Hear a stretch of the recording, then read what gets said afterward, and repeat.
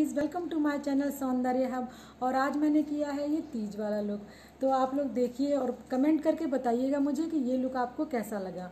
और अगर पसंद आया है ये लुक मेरा तो मेरे चैनल को करिएगा सब्सक्राइब और वीडियो को करिएगा लाइक एंड शेयर सो चलिए वीडियो को शुरू करते हैं. सबसे पहले मैंने यहाँ पर ये प्लम का टोनर लिया है, जो कि मुझे बहुत पसंद है. और इसकी फ्रेगरेंस भी मुझे बहुत अच्छी लगती है। तो मैंने इसको ये फेस पे लगा लिया है। डब डब करके लगा देना है थोड़ा सा इसके में बहुत अच्छे से अब्जॉर्ब हो जाता है और ग्लोई हो जाता है फेस इसके बाद मैंने लिए निविया का लिप बाम ये आपके लिप्स को बना देगा एकदम soft soft pink pink so ये बहुत ही अच्छा यमी यमी सा। और इसके बाद मैंने लिया है, ये बायोटिक का सीरम है डेंडेलियम सीरम है ये। और ये कैमरे में उतना दिख नहीं रहा था तो फिर भी मैंने ऐसे ऐसे करके दिखाने की पूरी कोशिश की आपको, लेकिन नहीं दिखा। इसको भी लगा लेना है फेस पे अच्छे से और कर लेना है पूरे फेस पे ब्लेंड। ये भी बहुत ही अच्छा लगता है मुझे। इसको लगा के तो फेस में जान आ जाती है। हम जो मेकअप करते हैं ना, वो हमारे फिर पोर्स में नहीं भरता क्योंकि हमने ये सीरम पहले लगा लिया। अब इसके बाद मैं लगा रही हूँ निविया का सॉफ्ट मॉइस्चराइजर क्योंकि ये हमारे चिक्स को बना देगा। बहुत ही सॉफ्ट एंड सॉफ्ट अब ये मैंने पूरे फेस पे इसको फैला दिया है, चारों तरफ़। अब इसको अच्छे से कर लेंगे। ये स्किन में इतने अच्छे से चला जाता है ना कि आपके चीक्स एकदम बन जाएँगे सिल्की सिल्की, शाइनी शाइनी से। ये देखिए। और इसके बाद जब मैं लगाऊँगी फाउंडेशन फाउंडेशन को पहले मैंने लिया है। इसके लिए दो पंप काफ़ी है, लेकिन अब ये ख़त्म हो रहा है और ये जाके गिरा मेरी आँख पे सीधा। तो अब मैं लगा, इसको लगा रही हूँ, पूरे फेस में इसको। ऐसे फैला देना है। और उसके बाद ब्यूटी ब्लेंडर को आप पहले से पानी में भिगो के रखिए। अच्छे से उसको निचोड़ के रखिए। ताकि वो आपके मेकअप जब आप करें तो उसको अच्छे से आप यूज़ कर सकें। ये देखिए, मेरा ब्यूटी ब्लेंडर रेडी था और मैंने फटाफट पूरे फेस पे कर दिया है अपना फाउंडेशन ब्लेंड ये बहुत अच्छा फाउंडेशन है फुल कवरेज है इसकी। तो अब इसका तीज का मेकअप है तो ये सब इतना लगाना तो बनता ही है भाई। ये देखिए, तीज है तो सुंदर तो दिखना ही है। और इसके बाद मैंने लगाया है कंसीलर जब हमारा कोई फेस्टिवल हो, तभी हम लोग कंसीलर का यूज़ करें अदरवाइज़ कंसीलर को ज़्यादा आँखों आँखों पे ना लगाएँ। क्योंकि हमारी जो आँखों का एरिया होता है, हमारे फेस से दस गुना सेंसिटिव होता है। इसलिए भैया आँखों को थोड़ा सा बचा के रखें और इसके लिए आप भरपूर नींद लें तो आपकी आँखें वैसे ही सुंदर लगेंगी। बहुत ज़्यादा पोतापाती ना करें। तो मैंने यहाँ पे कर लिया है ब्लैंड क्योंकि तीज मेकअप था तो मुझे थोड़ा सा हैवी लुक करना था तो मैंने इसलिए आज ये लगा लिया है। और ब्लैंड भी ये हो जाता है। ठीक है कभी कभी लगा सकते हैं। इसके बाद मैंने लगाया है यहाँ पे कॉम्पैक्ट, ये लैकमे का है, इसमें एस पी एफ़ भी है साथ में अलग से आपको लगाने की ज़रूरत नहीं है सनस्क्रीन तो ये देखिए अच्छे से लग गया है। ये मैंने इसलिए पहले आँखों पे लगाया है कि अब जब हम आई मेकअप करेंगे ना तो ये बिल्कुल भी उसमें चिपकेगा नहीं, आराम से हमारा आई मेकअप ईजिली पहले लगा लो ताकि वो सेटल हो जाए। अब तब तक एब्रो फिल कर लेंगे। एब्रो फिल करने के बाद फिर हम करेंगे आई मेकअप ये देखिए एब्रो भी फिल हो गई है। बहुत फटाफट कर लिया है, कुछ भी नहीं है इसमें। आप चाहें तो बहुत डार्क भी कर सकते हैं, पर मैंने यहाँ पे सिर्फ़ ब्राउन पेंसिल ली है और उसी से ही फिल की है। उसमें कॉम भी रहती है, उसी कॉम की हेल्प से मैंने उसको थोड़ा थोड़ा सेट कर दिया है। बस ये हो गया है, कुछ भी झंझट नहीं है मेकअप बस आप करेंगे, एक बार शुरू करेंगे तो फटाफट हो जाएगा। इसके बाद मैंने क्या किया है, अभी तो ये वाली भी सेट कर ली, ये भी हो गया। सब कुछ जल्दी जल्दी हो रहा है। इसके बाद मैंने क्या किया है, मेरे पास दोस्तों किसी भी तरह का ग्रीन कलर नहीं था मेरे किसी भी आई पैलेट में। तो मैंने लिया है यहाँ पे येलो कलर और ये मैट कलर था येलो का। और उसी को मैंने आई क्रीज पे रख के कॉर्नर तक फैला दिया और अच्छे से कर दिया है ब्लेंड येलो कलर लेके पूरे पे फैलाया है, दो तीन बार लिया है मैंने, क्योंकि मुझे चाहिए था ग्रीन कलर अब ग्रीन कलर कैसे बनेगा भाई? ग्रीन कलर के लिए मैंने लगाया यहाँ पे एक अपना देसी जुगाड़। उसके लिए मैंने क्या किया है, देखा है ना अभी आपने? येलो कलर लेने के बाद मैंने लिया है ब्लू कलर। ये देखिए। और ऐसा मैंने अच्छे से लगाया, इतना अच्छे से लगाया ना, पूछो मत कि आँखें हो गई है मेरी, हरी हरी, हरियाली वाली एकदम से। ये देखो, बन गई ना?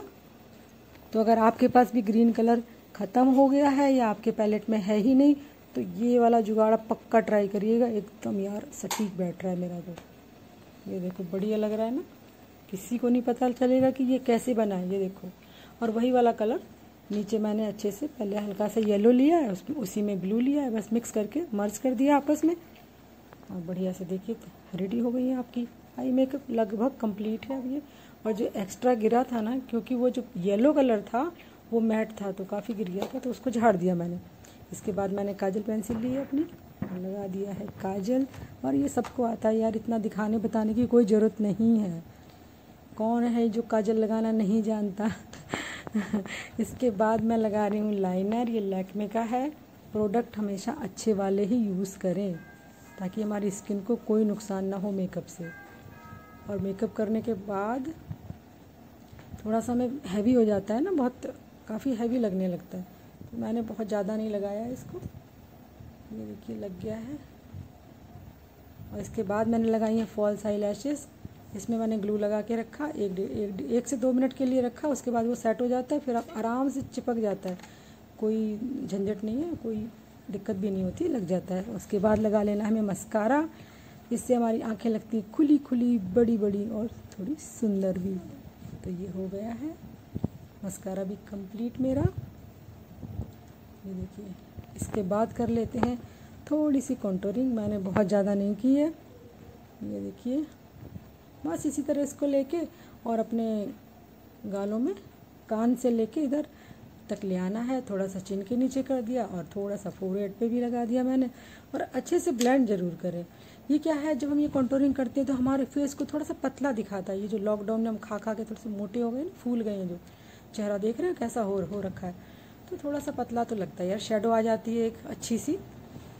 जितना आपसे हो सके आप उतना लगाइए। ज़रूरी नहीं है कि हमने बहुत ज़्यादा ये शेडो दिया ये पता चले कुछ और ही हो जाए फेस पे।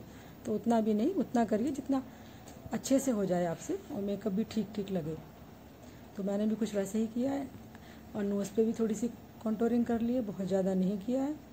इतना किया है कि मेरे से ठीक से हो जाए यार, नहीं तो पता चले मैं कुछ और ही कर दूँ, क्योंकि फिर गड़बड़ हो सकती है ना, इसलिए। ये देखिए, थोड़ी सी शेप में आ गई है। और इसके बाद मैंने कर लिया है ब्लश। उसी पैलेट से लेके आई शेडो के वाले पैलेट में ब्लश है तो उसी से लिया मैंने और फटाफट कर दिया ब्लश। ये देखिए, और इसके बाद मैंने जो अपने नेक पे नहीं लगाया था ना फाउंडेशन और नोज़ कॉन्टोर की थी तो उस पर भी कर दिया है फाउंडेशन वो सॉरी कॉम्पैक्ट लगाया है मैंने। ये देखिए नेक पे अच्छे से कॉम्पैक्ट लग गया है। कोई भी पाउडर हो लूज़ पाउडर हो, वो भी चलता है। और इसके बाद मैंने कर दिया हाईलाइटिंग ये देखिए हाईलाइटिंग करते ही चीक्स हो जाते हैं सच में एकदम लाइट वाले। लग गया है कि फेस हो गया एकदम हज़ार वाट का मेरा। लग रहा है ना? हम्म, मुझे भी कुछ ऐसी फीलिंग आ रही है। ये देखिए सच में यार। हाईलाइटिंग लगते ही लगता है कि बस फेस में जान तो आ जाती है। आप लोग भी ट्राई करते रहा करिए। कभी कभी करना है तो कुछ अच्छा ही ट्राई करिए। और जब भी मैं वीडियो बनाती हूँ पता नहीं क्या है, मेरे घर में बेल ज़रूर बजती है और अभी बज गई घंटी। तो आप लोग उस पर ज़्यादा ध्यान मत दीजिएगा, जाने दो, कोई नहीं। दूध वाले भैया आए हैं, लगता इसके बाद मैंने लगाया है लिप लाइनर और बस, इसके बाद लगा लेंगे लिपस्टिक और एक छोटी सी बिंदी लगाई है मैंने स्टोन वाली। लिपस्टिक भी मैं क्या करती हूँ? मेरे पास अगर प्रॉपर कलर नहीं है, जो शेड मुझे लगाना है वो नहीं होता है ना तो मैं ऐसे करती हूँ ना, दो दो मिला लेती हूँ। जो मुझे चाहिए, कभी दो या तीन, ऐसे से मिला के मैं बना डालती हूँ। और वो मैंने लगभग अपने वीडियो में ट्राई करती रहती हूँ। इसमें भी कुछ वैसा ही कर डाला है। देखिए, बन गया।